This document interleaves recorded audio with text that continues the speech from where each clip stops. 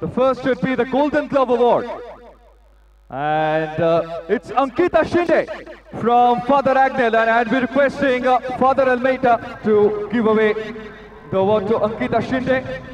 She has been the best uh, goalkeeper in this competition. Should also be collecting uh,